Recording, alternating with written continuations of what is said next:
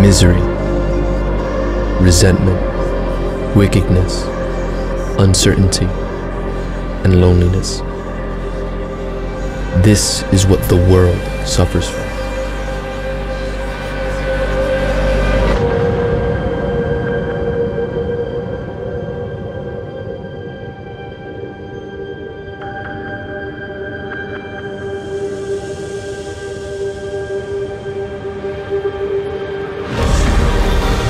But the world that we know, the world that we're called to, is a world full of peace, love, salvation, and eternal life.